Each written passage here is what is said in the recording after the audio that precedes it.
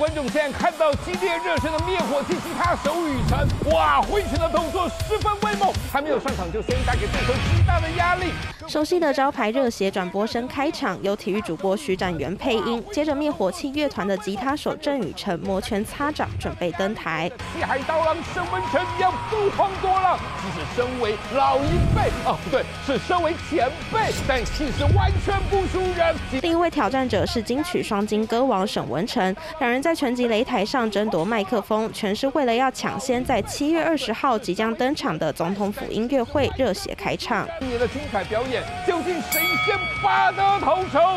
二零二四总统府音乐会，